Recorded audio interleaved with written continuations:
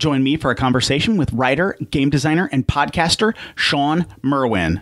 Welcome to DiceGeeks.com Tabletop RPG Show. Level up your RPG campaigns by filling yourself with stories and knowledge. Explore topics from archaeology to film history to writing to literature and much, much more.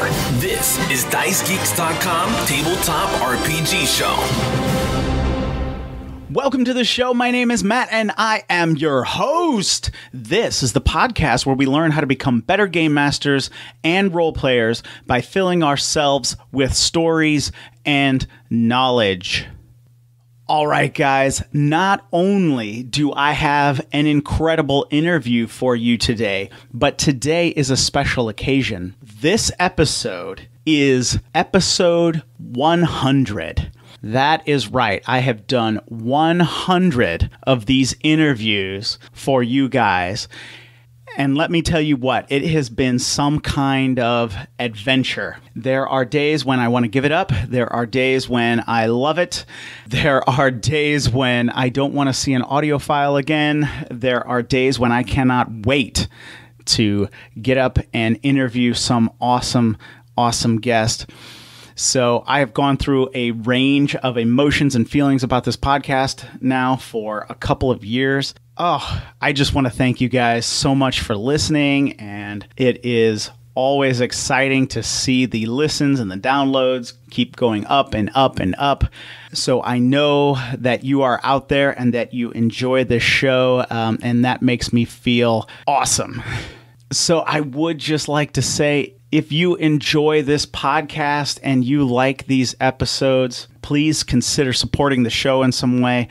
If you would like, rate, review, or subscribe to the show, that would mean a ton to me. Right in the podcast app where you're listening to the show, you can just press a button, hit the five stars or whatever it is, or thumbs up, or whatever the subscribe button is, uh, wherever you're listening. Uh, those things really help the show.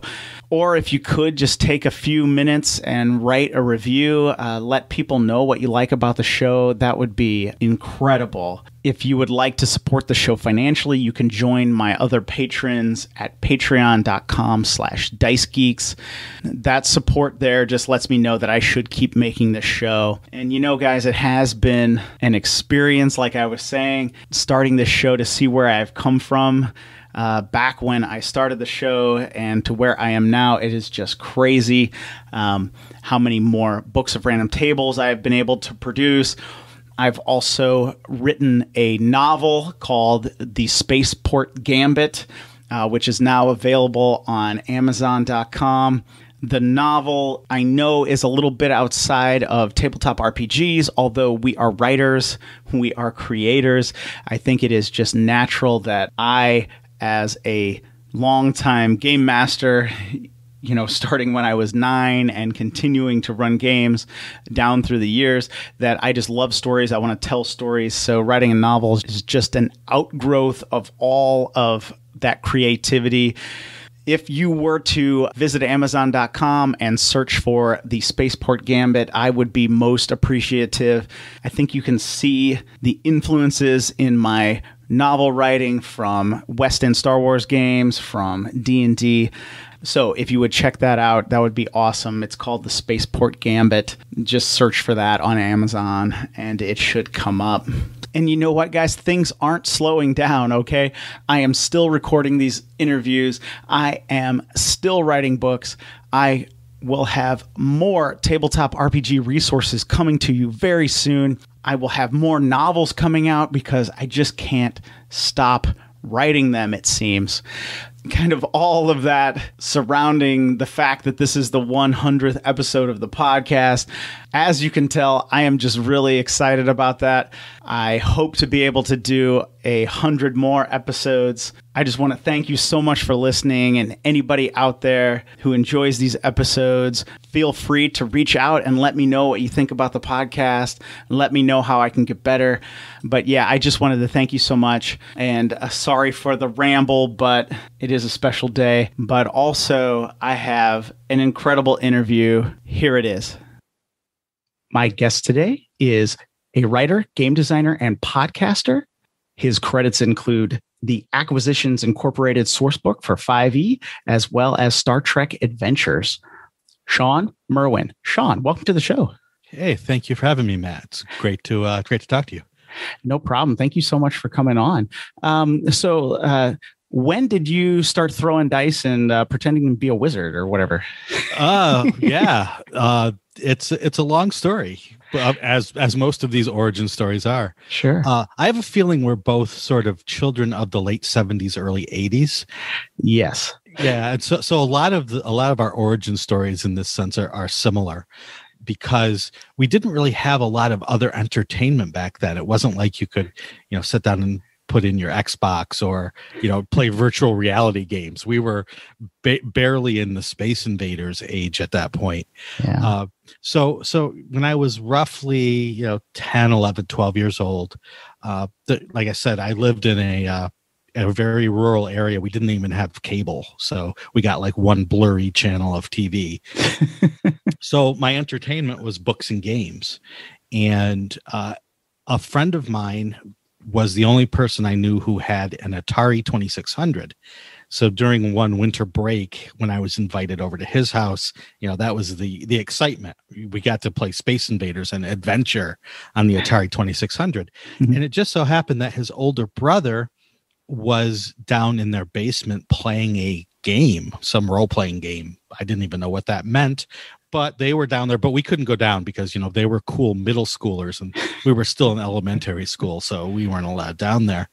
Uh, until some of the people that were supposed to play with them failed to show up uh-huh. and they uh-huh. needed they needed players so they're like hey you two come down here it wasn't would you like to play because you know older brothers it's you come down here so we we went down cellar and we were uh, put a piece of paper and strange dice were put in front of us and we were told you are playing dungeons and dragons and and you are going to roll this die and you are going to say this and you are going to do this so it wasn't playing so much as being told what to do but uh, still, it was the most amazing thing that I had ever seen up until that point in my life.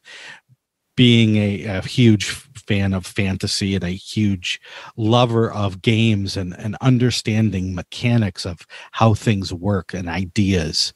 So that was my very first experience with the game. And I barely remember except remembering that I really, really wanted to do more of that. And uh, they had just switched over this gaming group had just switched over to playing AD&D after playing basic D&D and they decided then and there that they loved AD&D and that basic D&D was crap so they're just like threw out their old box sets of of like you know their their basic rules I'm like, uh, could I have those? They're like, sure, that's terrible now. We've got advanced Dungeons and Dragons. So uh, I would have never been able to afford uh, any of the books, but someone had tossed them out, and so I got to take them home and poured over them and read over them. And even though I never really played Basic, uh, I, I got the gist of what the game is supposed to be from reading those books. And, you know, from then on, a child with not many other entertainment avenues and a very, uh, you know, an active imagination, you, couldn't stop me from playing D&D at that point. Yeah, yeah, absolutely. Uh, no, that is awesome, and it uh, it does sound similar to my story as well. um, yeah, I was uh, I played for the first time when I was nine in uh, around 1982, and it was because of my older brother and a friend of his. Right? So, yeah. yeah, yeah, and it was it was weird because those games back then, whether you're talking about Dungeons and Dragons or any of the other TSR games or any of the role playing games that were coming out, they were not ones that were easily learned by reading a book. No. And you couldn't go on the internet and watch 700 how to uh, videos yeah. or watch stream live stream games. Mm-hmm. So you really learned by playing. And the interpretation of what a game was varied highly from one group to another. You could go to a game across town with a different group of players and play a highly different game uh, than the one you might play with a different group just based on the interpretation of the rules they had or how they decided to fudge those rules to make it the, be the game they wanted to play with that group. Yeah. yeah, absolutely. I mean, I yeah, I I mean, I totally remember doing things in our little group uh, with my brother, you know, my older brother and his friends and his and uh, his brother and and then playing you know the first time someplace else and just being told like that is not a rule right? Like this right. not, you know we don't do that here or whatever right. it was. That's yeah. not a rule but the thing they were doing wasn't a rule either. Yeah most likely. Yeah. It, it, it was it was definitely sort of a a game that you you rolled your own uh, as it were and ended up still having a great time because just the concepts behind the rules were were so you know were so creative and, and so uh, enticing to to people that want to tell these stories yeah. that the game was going to thrive no matter how good or how bad the rules were. Yeah. Yeah. And um I, I completely agree, and I, I played mostly basic back in those days, kind of in the early and mid '80s. I and, but when I say play, right, I mean I put quotes around that because yeah. um, we told stories and we did things with dice, and we had things that looked like character sheets. But I don't think I don't I don't know how many rules we followed, you know, or anything like that. But um, uh, really, the first game that I remember being able to read and playing by the rules was the TSR's Marvel uh, superhero heroes. Mm-hmm. Um, that was just like, um, you know, I would have been like 10 or 11 when I bought it, and it was just so easy to read, and the rules were right there, and it was just awesome. I remember playing that one a lot too.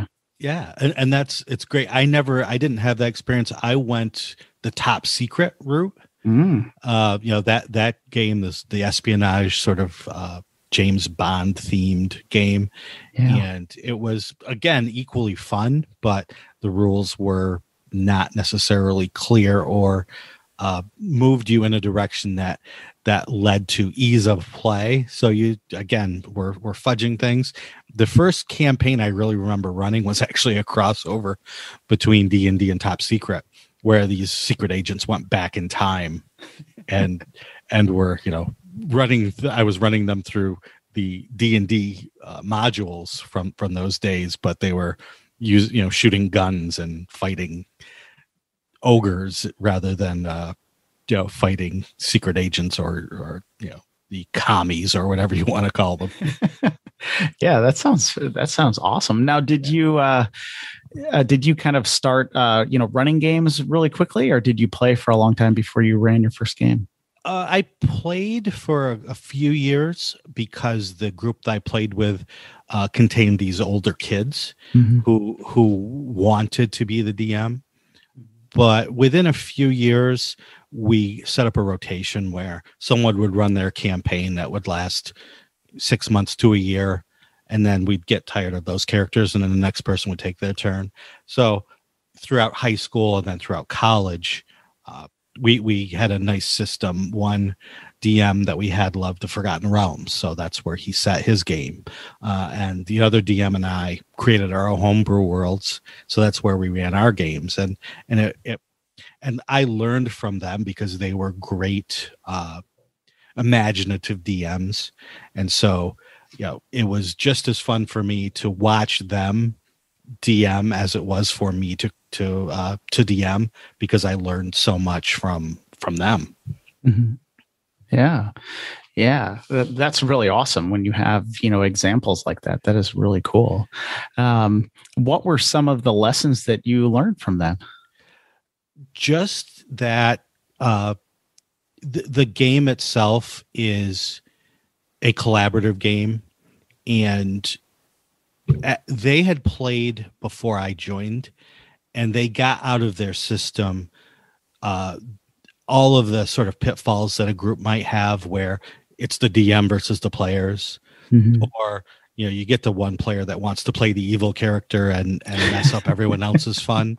So I I learned right away that you know when I came in and if I had some of those tendencies, they were they were slapped out of me uh, rather quickly.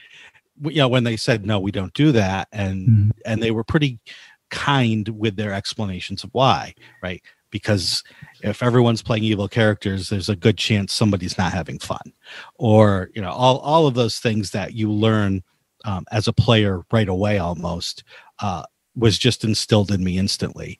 Uh, you know, let give the players choices. Don't take away the player's agency uh, within the story. You know, all of those things they just sort of did automatically. So I didn't have to learn it the hard way. I could just see that they already had learned those lessons. Yeah. And so it was when I when it became my turn to DM for them, uh, I had that all those lessons instilled in me, and you know I was as much trying to win their approval uh, as as anything else when I Mhm. was running the game, which is what you want as the DM, right? You want your players to have fun. You want them to enjoy it. So rather than being the adversarial DM, uh, where you're going to teach the players a lesson or you're going to, you know, dictate to them this grand story that you're going to tell, it's make everyone happy, get, bring everyone into the fold, and and let's you know make this a, a truly communal experience. And so all of those things help me right away you know sort of learn those lessons of what d&d should be and can be when everyone is playing toward the same goal Yeah, yeah, that's that's fantastic because I totally did it the hard way. yeah and, and it can be hard and it can really ruin someone's experience yeah, for a long time if if they have to Yeah. go through that yeah, yeah, and uh, you know, I we we want to stay positive on the podcast, but yeah, I did all that stuff. I uh, I did the the the GM running the you know you will follow my story and like it you know and the, right the evil character and all that stuff. I did all that stuff. yeah and and it's you know it is it is part of the learning experience you you know it's uh it's the the famous quote from uh, who wrote the play waiting for godot oh samuel beckett Yeah. right ever tried ever failed try again fail again fail better uh-huh. that's how we learn right we fail and we fail and we learn and and so it's not it's not a mark of shame to have to go through that it's it's just the natural learning process and some people are lucky enough to be surrounded by people that make that learning process smooth and less painful than it than it is for others Yeah. Yeah. Yeah. Yeah.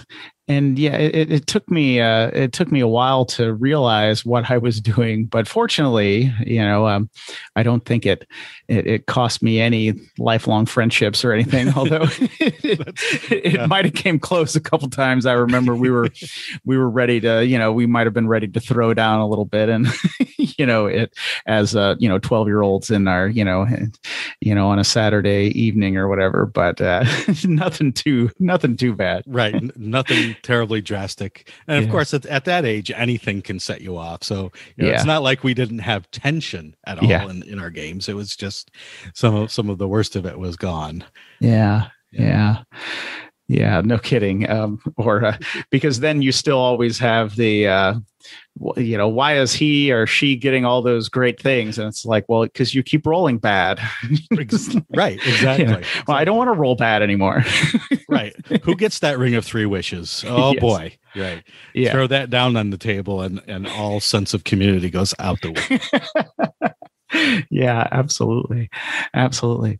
Um, you know, we're just talking here, you know, and I, like I said, and I, I had a similar, you know, kind of experience where the role playing games just captured my imagination and I was just, I was just hooked from like the instant, like, you know, they showed me like a pre-gen character and was like, okay, this is your character and you get these things. And now we're going to roll this strange, you know, 20 sided die, which I had never seen before. Um, you know, wh- why do you think that role playing games just capture our, our imaginations like so easily and so like completely in some cases?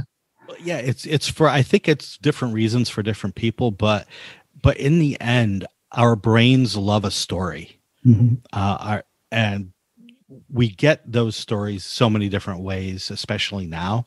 Uh, before it might have been you know watching a show or watching a play or watching a movie uh, or reading or telling being the storyteller. And the modes of storytelling have vastly increased over the years uh, but that hasn't diminished our love for hearing a story and for many people participating in telling a story uh, whether you're the main storyteller or you're uh, you know part of a group. And that that has gone all the way back to you know, people sitting around the fire you know talking about why there are these funny lights in the skies and the amazing creatures that they must be to to be living out there. And you know it just it throughout history throughout our generations that love of storytelling has not and probably will not diminish. So role playing games have always been a a a new and different vehicle for people uh, to to tell. And now uh, with the with the uh, increased popularity in streaming a way to hear stories. So i think we've um you know we've we're able to capture that that storytelling uh, need in game form which is great. And some people love games um, mm-hmm. so you can not even be into the story but role-playing games are um, as i like to tell the students that i've taught uh, in my game class uh, they're machines right games are machines and some people just love to see how things are built and love to build things and so when you uh, place this beautiful game machine in front of people. They want to tinker with it and they want to see how it works and they want to see how they can make it better how they can break it how they can make it go faster how they can make it bigger how they can make it smaller but still work you know all of those innovative minds that that love ideas and, and how things fit together want that as well.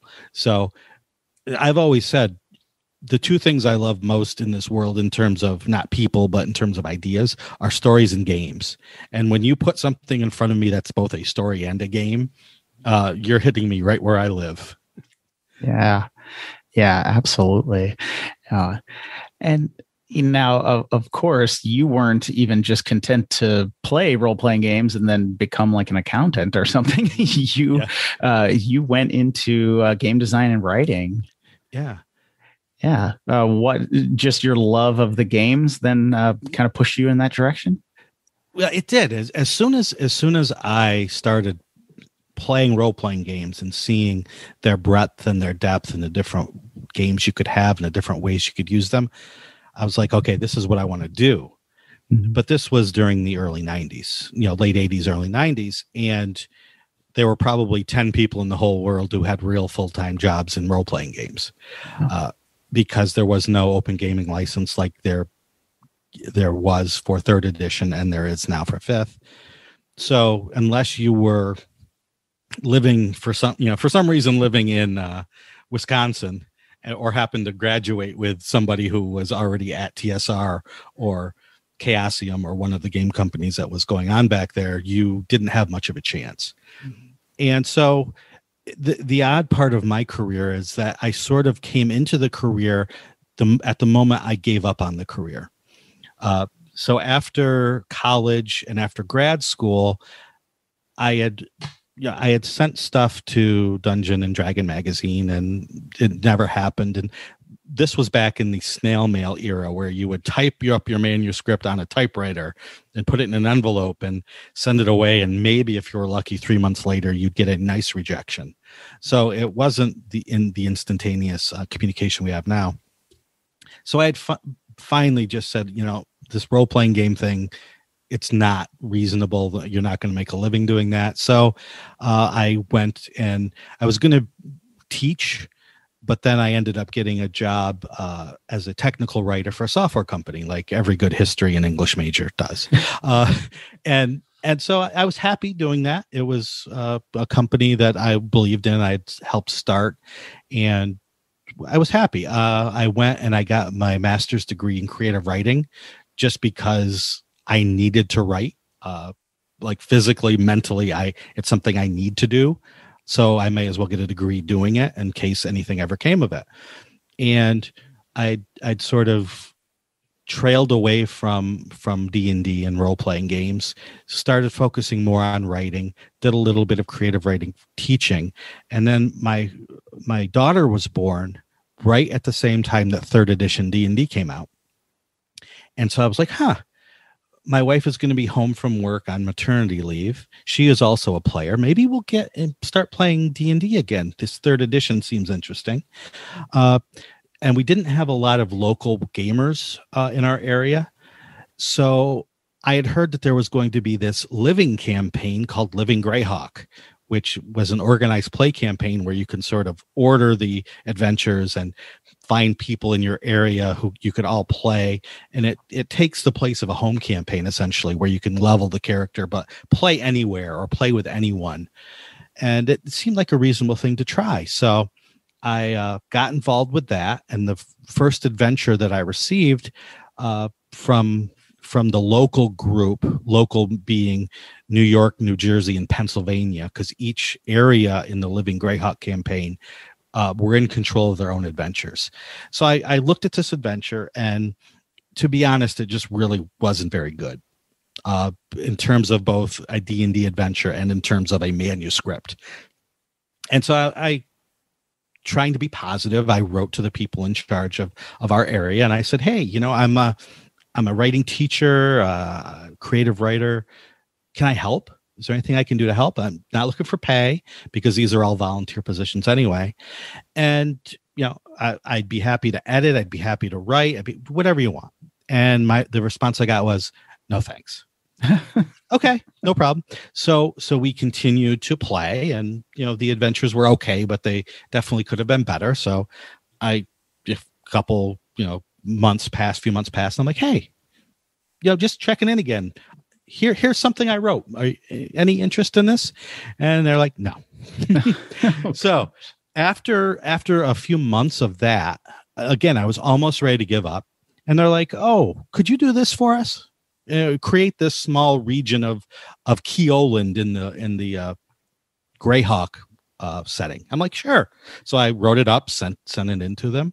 And they're like, hey, you know, thank you for this. Could you also do this? So so I slowly started to get work now work in quotes because this is all volunteer stuff but again my mind is i have to write it's just something i have to do so i may as well do it for something and uh and so finally i became one of the administrators for this region of of the living greyhawk campaign and put out two seasons worth of adventures which is about 20 adventures total uh, for that, and that got my foot in the door. People saw that the work I was doing was was fairly decent, so then I got uh, some work for the larger campaign as a whole, and then from Wizards of the Coast directly. So it was right at the time when I'm like, oh, I, I'm never going to work in this field that I started getting work in this field. no, that's awesome. That's incredible. And yeah. uh yeah, I, I just find that story fascinating. Uh, no, thank you for sharing that. Yeah, yeah, and then um, you know, just kind of from there, writing these adventures, and you were saying some of them weren't that great, but then you were, you know, so you were wanting to add some material. What what would make a good adventure, in your opinion? Well, it's strange because a, a good adventure is a user manual. Mm-hmm. Um, and so I had been a technical writer. I was a technical writer at that time. Mm-hmm. So I was highly, highly invested in writing good user manuals. So, you know, I would get these adventures that would either be super imaginative and the story would be great, but it was it was presented in a way that was difficult for DMs to understand. Mm-hmm. You know, or it would be a very straightforward adventure, but it would lack sort of the surprise. It would lack some of the the grit, some of the drama that makes a good D and D adventure. So, and and I had some experience with that through you know creative writing, through fiction writing, through uh, you know drama writing, and so on. So, yeah, I was just really all I wanted to do was teach at that point. You know, I wanted these writers who were writing this stuff to to get better at their craft. I wanted to be playing these adventures and say, "Oh, wow, this is great." And so that was my my first thought was how how can I, you know, tweak these? How can I help these writers? Uh, because while while adventures are user manuals, they're also many other things. They're they're drama. Uh, right? The the main characters in the drama are the the characters that are brought to the table by the players but you still want tension and you still want rising and falling action and you still want all of those things that makes a good story that our brain wants so much. Uh, and but then there's also the mechanical parts. So you want the format to be clear and easy to read. You want the skill checks or the ability checks in the right place and you want the monster stat blocks to be correct so mm-hmm. that DMs can use them. And so all of those things it's it's very it's difficult to write a really good adventure because of all those reasons. And some people you know who come to me and say I want to be a writer, they, they they understand that and they say, you know, I'm really good with the mechanics, but I don't I'm not great with the story. So what are some tips for that or vice versa? Uh, you know, I I love telling the story, but the mechanics elude me. How can I get better at that? And so, you know, it's it's just a learning process. Again, creating and failing, and then trying again and failing better.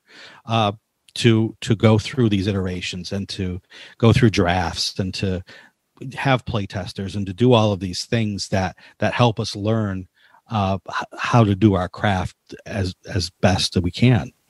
Uh, so I don't know if I was specific in answering that question uh, about what makes a good adventure, but you know, it's it's it's a process as much as it is three simple tips.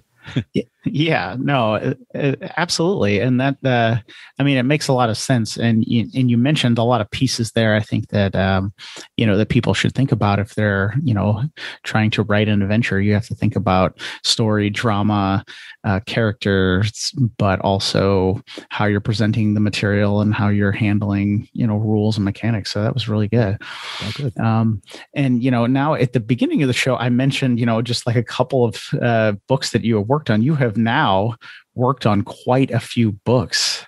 Isn't that right? Uh yeah, in fact, whenever I do a talk or an interview, I have to bring up the uh, rpggeek.com which has like lists of, you know, things that uh, role-playing game designers have worked on because otherwise I will totally forget things that I've that I've worked on. But I can I can emphatically say that the things you mentioned, yes, I did work on. All right. Um, so then you said, you know, you you kind of got in through organized play and doing some of that, and then you it led to to jobs and you know working actually for Wizards of the Coast um, and doing things. Um, uh, maybe let's just talk about a couple of the things that you have that you you have worked on. What is uh, maybe for Dungeons and Dragons to start? What is something that you've worked on for Dungeons and Dragons that you are just really proud of? I'm going to start with just the sort of the very first thing I worked on, mm-hmm. uh, which w- first one I got uh, real credit for. Uh, at the beginning of fourth edition, I was going to be an administrator in their upcoming, their new Living Forgotten Realms organized play campaign. So I had play tests, drafts of the rules, and they needed content. So um, they couldn't go to just anybody because not everybody had the rules at that point. So it it ended up uh, they're like, uh, could you write an adventure for the first Dragon magazine art uh, mag- Dragon magazine uh, edition that's going to have fourth edition content. And i'm like sure. And then they were like well you also need to write some adventures for this organized play campaign? And i said oh yeah absolutely. And then they said well we also need someone to work on this hardcover book called dungeon delve that is going to be a fourth edition book that we put out very early uh, in fourth edition's life cycle that has uh, short adventures almost like layers or mini adventures uh, for all the levels and could you work on that? And i'm sure absolutely. And then then they said well we also have this adventure path and uh, one of the writers that was supposed to write on uh, one of the modules had we had to move him to a different project so could you work on that? So i, I literally in the span of six months were, was working on four different projects for fourth edition right at the very start. Uh, and it was sink or swim, but it was one of those freelancer uh, credos where you just don't say no to work uh, Yeah. if you if you need it and if you want to keep working. So i i just said yes and they just kept coming. And i was working with four different people at wizards of the coast uh, on these four different projects. And since it was so early in the um in the in the life cycle of fourth edition that i was getting conflicting instructions from these different no. people and and so it was it, it's not unusual for for this to happen uh Mhm. be, especially at the start of something uh but it, it was just it, it was a learning experience for me because you know i would get one feedback from one manuscript saying you know there's way too much cowbell in this adventure and then the next you know three days later the feedback would come back on a different manuscript saying you know what we need? More cowbell. Yeah. uh, and and uh, and it was it turns out it was good advice all around because yes the one the one manuscript did need more cowbell and this other one needed less. But uh it just it showed that you need to be flexible. Uh you need to do what's right for the project that's in front of you and not worry about you know what's going on uh, behind the scenes because that's going to work itself out without your input uh, so the the thing that I really loved working on uh, most, I think, was the Dungeon Delve book, uh, because it's so f- it's so fun to write an adventure that can be played in such a short amount of time, but still get all the components of a fun D and D game in, uh, and you know you want some exploration, you want some role playing, and you want some combat, and you want it to be easy for the DM to run, but you also want it to be super engaging for the players. And working on, I think I worked on six of those layers out of that book, and including the first level one. So the first one that people would see when they opened it. And it taught me so much about uh, really, you know, getting to the the gist, getting to the real pulp of what a fun adventure is. And that served me going forward as I wrote short adventures for fourth edition and then for fifth edition. Uh, you know, getting that one hour adventure concept down to something that uh, I felt comfortable writing and that people seem to enjoy running. Yeah. No, that's that's fascinating. I'm glad you kind of uh, kind of uh, uh, mentioned those different parts or different components of a D&D game there. That was really good. Um, I, I'm also just thinking like when you were mentioning you you had started doing all of those like four projects at one time. I was just like, are, were you still working a day job while Oh, yeah. those? Yeah. Yeah, And a yeah. family? Wow. Yeah uh yeah it, it was well I, i've said it uh, several times let me explain again if i don't write i don't sleep Okay. Um and that's been something that's driven slash haunted slash helped me um over the years is Mhm.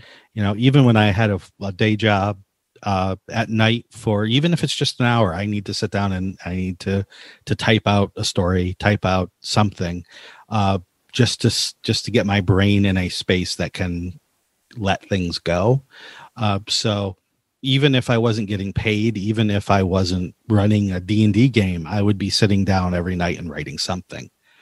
Uh, so it it it wasn't it, it it was a lot but it also um it was also therapeutically good for me and my family understands that Mhm. so uh you know it's it, it wasn't i wasn't neglecting my family or anything like, well, like that I wasn't Even- suggesting that. no no but it, it- is it is a question and it's a question i get a lot you know which is how especially when you're a, a part-time freelancer and have a full-time job how do you do it and it's not easy uh, Yeah. it's not not easy and i've you know i talk to people freelancers all the time about it and you know how do you balance that work life load and now as a as a person who has to oversee freelancers in my new job with ghostfire gaming uh, it's something I, I do need to worry about, right? I do need to, when I contract someone for 10,000 words that's due in two weeks or three weeks, you know, can they be able to do it? Am I putting them, you know, in any danger physically, mentally, or socially by by asking this of them? Mhm. Uh, you know, it's it's it's definitely a thing that you need to be aware of in the industry. Yeah. Yeah. And I, I know just from my experience, uh, starting to self-publish because I self-publish material. Um, I, you know, I I basically worked two full-time jobs for like four years, and um, you say, how did you balance it? And it was like not well, right? Right, right, not well, Yeah. but it, you know, got through it, right? right. It's it it it's work. It's you know you, you if you sit down and you have like a home game and you create your own content and your your own settings and your own story, you know that's that's great and you know how much work that takes. Yeah. Uh, now ramp it up for actually having to submit it to publishers follow a style guide be on a pretty strict schedule you know that ramps it up even more so it's uh you know a lot of people who write their own stuff think it, that making that next next step to freelancing or self-publishing uh is is just the same thing and it's really not Yeah. Yeah, it's, it's definitely a jump. Uh, Obviously, I haven't done the freelancing side, but the the self publishing side, it does. Um, it it it you know you have to treat it seriously, right? Like if you if you want it to work, but then uh, you know obviously it's always you're balancing or juggling other things as well. So it is um, uh, it is a, a lot of time and a lot of work. Absolutely, Yeah. absolutely. and and the one other risk is when you um when you do self-publish or you do freelance and it takes all your time is you stop playing Yeah. and part of the joy of the game is playing the game whether you're dming or playing and i i know a lot of people who sort of lose their love for the game once they do start freelancing or self-publishing because they because that joy of interacting with others and and you know uh, being creative in, the game space at the game table is the joy of the game for them. So you know going out of that doing this work and then cutting yourself off from that joyful expression of the game can be devastating. So you know another tip out there for people that are creating you know keep playing the game. Don't don't stop.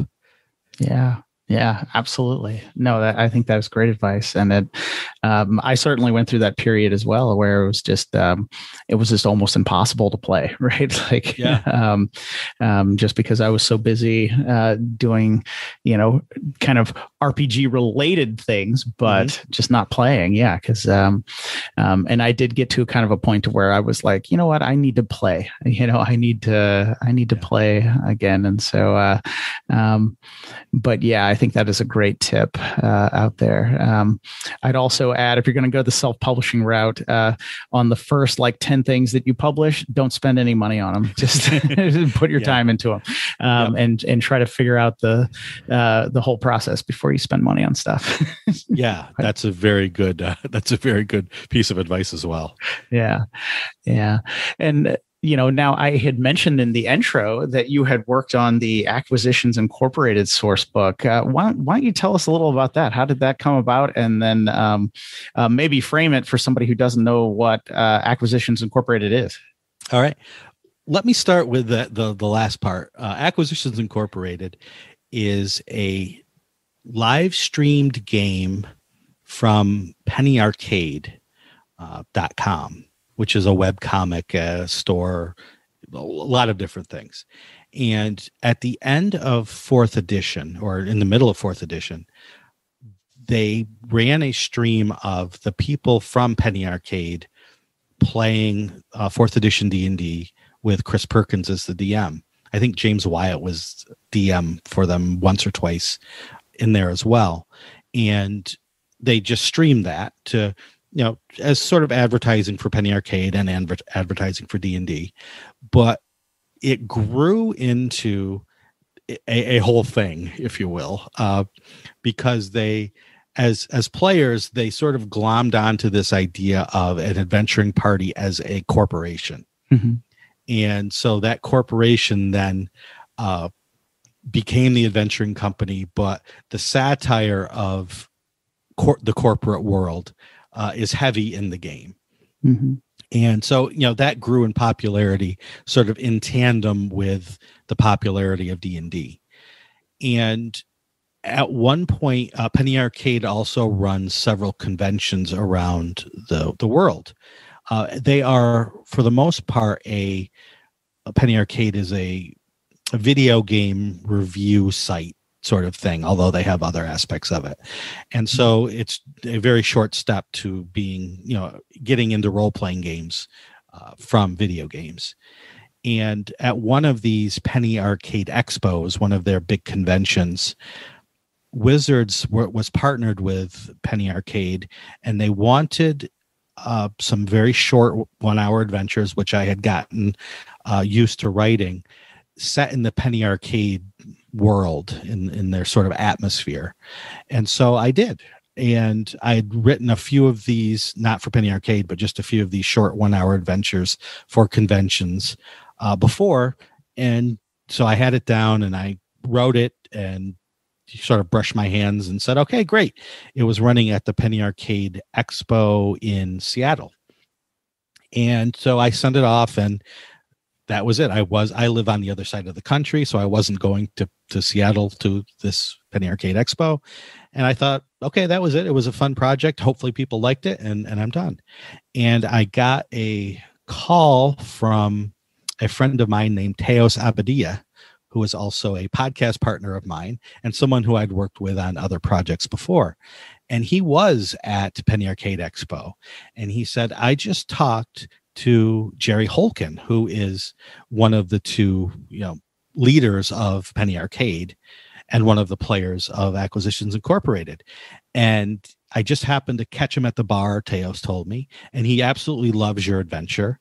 And we might want to do something bigger and I thought, great. And I think he called me, and it was like like 11 o'clock at night here because it was only you know 8 o'clock at night on the west coast. Yeah. so I, I was half awake. I'm like okay cool. Yeah whatever. Bye. And teos at, at that same convention had written a published module called uh, storm king's bargain. And was it cloud cloud giants bargain? That's what it was. Cloud oh, okay. giants bargain. And that was the the time when Penny Arcade and Wizards actually live streamed the game that that Chris Perkins ran at the convention into movie theaters everywhere around the country. so Teos's adventure was given away at movie theaters, and my adventure was run uh, at the Penny Arcade Expo for new players, new to D and D, or new players who wanted to learn more about what Acquisitions Incorporated was. So it's sort of a comical uh, romp game. Mm-hmm. And yeah, and so Teos told me this, and I was, you know, I was mildly interested, but you know, again, I had a full time job and I had other stuff, so I wasn't thinking about it because in this business a lot of things are like oh we're going to do this great thing and then it just never happens and you know time passed and and maybe it will maybe it won't and finally uh teos and jerry got together and they said, okay, we're going to do this. We're going to do this book. And uh, Wizards w- won't be involved, but we're going to do it. We'll publish it under the open gaming license, and it's going to be great. And I thought, all right, here we go. Let's do this. So I got all uh, I got all excited, and it just so happened that this was around 2018, and the company that I had worked for for 20 years had been purchased by another company, and I was pretty much out of a job. Oh gosh. And uh but I took it as a sign that hey, it's time to go full time freelancer mm-hmm. and how how better to start your full-time freelance career than working on an acquisitions incorporated book you know a super popular uh, d&d campaign stream uh, here we go this is going to be great. And you know it, it, took a few months to get everything together. There were road bumps along the way as there always are. And in the end it turned out that wizards of the coast decided to publish the book uh, hmm. from the content that we created which you know puts the wizards of the coast seal of approval on it and they they get to review it edit it and then uh, and publish it. So you know it was a it was a it was a super exciting experience sometimes i get so uh, wrapped up in the business side of things that that I forget that this is a joyful thing. Mm-hmm. And writing this book was probably the most fun I've had as a D&D designer because the the concept of this corporate spin on a D&D adventuring party is hilarious. And I worked in the corporate world for for many years. So I was steeped in this sort of you know Kafka-esque office space sort of, you know, yeah. view of how business works.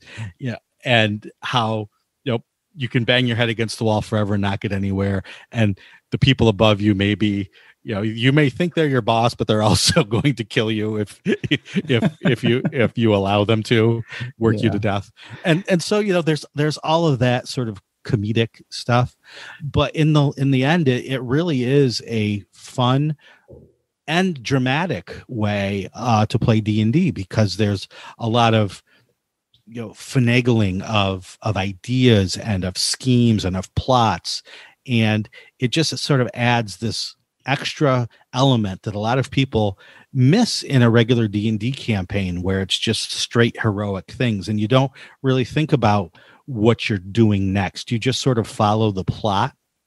Mm-hmm. whereas in an acquisitions incorporated game you know you're a business so you are trying to think of a way to expand or a way to get one up on your rival you know all of these things. And so that is built into the book uh, this this uh, the idea of when you have downtime, you're using it to to advance your business. And uh, Teos worked very hard on on that aspect of it, and it I use it in my regular campaigns now. You know, this sort of what are you going to do now that you've defeated the big bad evil person at the end of this yeah at the end of level three now you're going to be level four but you have a month what are you going to do with that time and you know i want to make a magic item. I want to scout out our next possible mission. I want to carouse uh, yeah. and and see what trouble i can get in. You know all of those things are handled by those rules. And you know jerry uh, and everybody at penny arcade made such a great uh, setting and a great idea. And uh, it was it was so much fun to sort of play in that space. And and write some funny things rather than just straight sort of drama or horror or, or those uh, sorts of things. Yeah.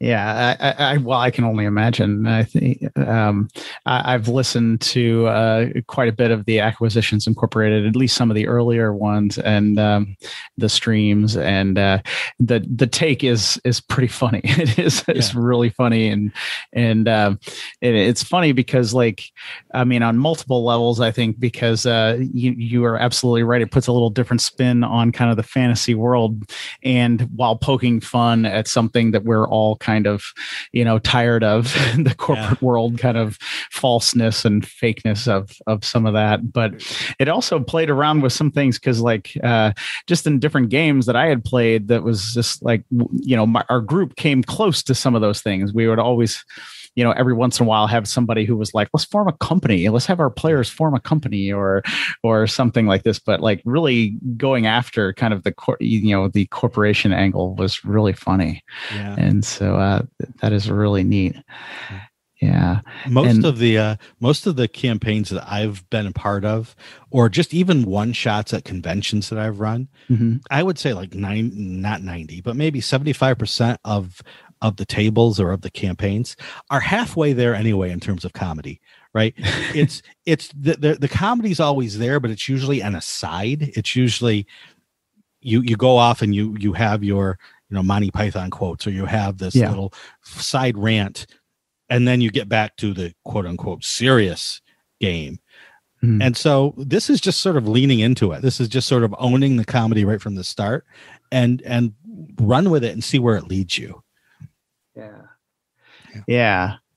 Yeah. And um and sometimes, you know, comedy can be a, a little tricky, but uh, I thought Ac- Acquisitions Incorporated kind of hit the right kind of hit it right, you know, and and um, I think it was something to do with that whole corporate world kind of thing, mm-hmm. like yeah. oh, we're opening a branch office, and different things like that. I always thought was was really. You can fun. get your franchise now. Yes, yes, you can open a franchise and all mm. kinds of stuff. I thought that was uh, I thought that was pretty good because it it leaned it leaned into the world of D and D, like it didn't you know, and just added a new element. It didn't like change things, you know know too much or something like that. Right. You're right. You're, you're still you know you're still trying to level and and get treasure and fight the bad guys. And you you know you're still doing all those things. So it at the essence it's still d&d straight up. Yeah. Yeah. Absolutely. And um you know, I know I've been talking to you for a while now, but I want to get to a couple other things. Um, I mentioned also that you had worked on Star Trek Adventures. Um, if you ask my wife, I have a Star Trek problem, um, although although she's a fan too. So uh, that, that's really really good because I think I may have a problem. But so you worked on Star Trek Adventures as yeah. well. Yep, I uh, I answered a call. I think for they were looking for people to work on the game. So i submitted my resume and and i ended up uh, you know working on the game a bit and writing the adventure that's in the back of of the of the core book. Um, nice. and i you know, i really i've always thought that some some franchises some intellectual properties are tough to make a role-playing game for because mm-hmm the stories have already been told and there isn't a lot of room to tell the stories that you want to tell. Um, i for some reason that's always for me why like d&d is super popular because it's not based on one property. It's yeah. based on many books many and not even any real movies right? It, it goes all the way back to to conan and to lord of the rings and to to those books that are are delivered via imagination to start with because they're not or haven't hadn't been at that point concretized onto the screen. Mm-hmm. Uh, but I Star Wars or Star Trek for me was one that I thought could you could tell good stories with it. Uh, there was enough out there. It was a wide enough world, and it was an it was a basic enough story at the root of of Star Star Trek Adventures that that you could do it, and so uh, that's what turned me on to the the game, and I love the the two D twenty system that they use for uh, you know for resolving tasks and telling stories, mm-hmm. and so my job then was to write an adventure uh, that people would be using when they first picked up the book, probably to make that story happen, to show how to tell those stories. And hopefully, I did an okay job. no, I'm sure you did. I'm sure. I'm sure. Um, I take it you were a Star Trek fan before. Oh yeah, yep. I yeah. I don't I don't know that I have a problem, uh, but I can definitely see problems in my future uh, with like Picard season two coming out soon, uh-huh. and uh, yeah, no, but I you know I've always been a f- fan. If in in the wars versus Trek debate, I sadly for some people come down on the Trek side, mm-hmm. uh, just because I love that. Uh, I love the the ideas behind it. I love the stories that that that Star Trek tells. Yeah. Um, so yeah. Yeah, absolutely. I, I think um, um, it just speaks to, I mean, not only kind of the optimism, but the um, the idea that you know that Kirk and and Chekhov and Sulu and some of the others, they're just they're just people who right. work really hard and are good at their jobs and um, you know it's not like um, you're the chosen one right? Like, exactly. you know? So i i think there you know while while i love star wars you know there is an appeal to star trek that is um i don't know it just appeals like on a very human level i think. Yeah the, the idea that we can we can have faults yeah. but still overcome those faults all together to to make a world that everyone can live in mm-hmm. uh, you know always appealed to me and you know i i that's what d&d is for me yeah. and always has been it are you know maybe you are a superhero quote unquote because your character has all can cast spells and do amazing things mm-hmm. but there's also flaws in in your character and you need those other people or there are weaknesses in your character or weaknesses in your abilities and you need you know the barbarian needs the wizard when the barbarian gets a spell cast on on her to to break that spell mm-hmm. or to handle the magical trap when the barbarians uh attempt to beat on it does not go well. Uh, yeah. and and so you know that that feeling of community and that that social aspect has always been appealing to me. Yeah, yeah, absolutely. Um, and now, I mean, I could keep asking you a million questions, but like we haven't even talked about your podcast. Uh, oh, you boy. do a podcast? Yeah, yeah. Why don't you so, tell us a little about your your podcast? Sure. Uh, the podcast is called Mastering Dungeons. It is on the Misdirected Mark Network, and it is one that we do weekly. Uh, I do it with Teos Abadia, who I'd mentioned earlier. Mm-hmm. And uh, essentially, why we do it is because if we don't force ourselves to stop and look at the D&D world news or read the latest book, we will be so busy writing that we never look at it and it's important that we do so yeah.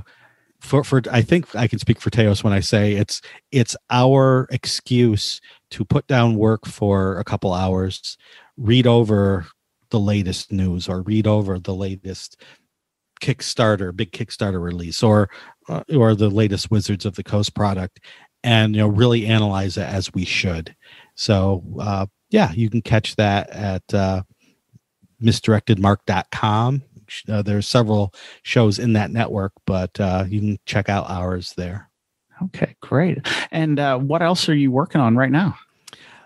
In January, I became lead. What's my title? Executive lead designer at Ghostfire Gaming, which is an Australian company that founded a couple just a couple years ago, uh, printing, publishing, um, 5e material. And I had no plans to look for full time work in the industry. I was very happy as a full time freelancer. But when I talked to the principals at the company and they told me their plan, their like long term five year plan, I went, Ooh, I need to be part of this. And so I started in January. We just finished our the first Kickstarter for which I was lead designer ended a few weeks ago. It's called uh, the Monster Grimoire. The uh, the world is called Grim Hollow, and the book is called the Monster Grimoire. Uh, the Kickstarter ended, unfortunately, but the book will be out in a few months. Um, since it takes time to to make these things, I'm come to find out. Uh, but I really love the the world that they created in Grim Hollow.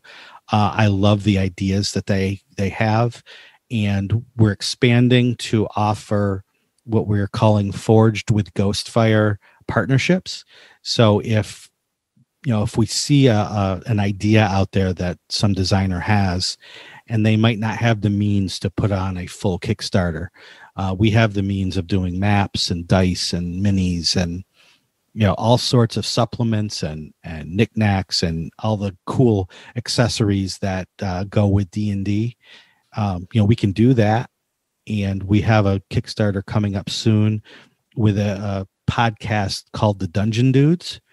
Hmm. Uh, they're creating a, a big adventure setting called Drakenheim. Um, so we're publishing that with them. The Kickstarter might be over by the time this comes out, or be close to over. But you know that'll be available, obviously, for to buy once it's done.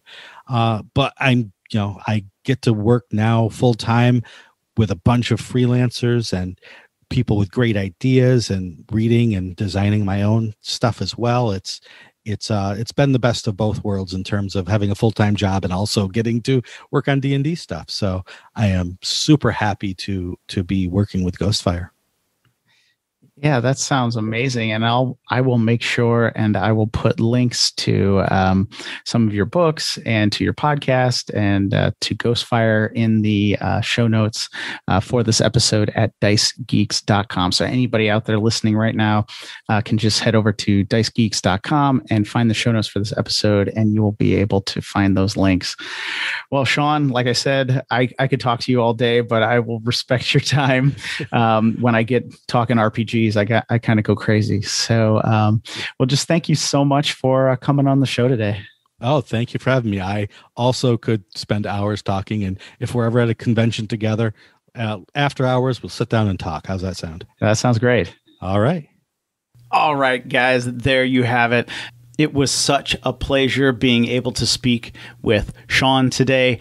We talked for nearly an hour and barely just scratched the surface of his RPG and writing knowledge. But I hope you were able to glean some bits out of the episode where he talked about adventure writing and some of his advice about running games.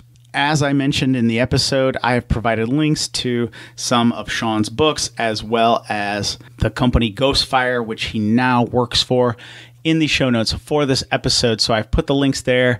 Just head over to dicegeeks.com, find the show notes, and you'll be able to look up uh, some of Shawn's amazing, amazing work.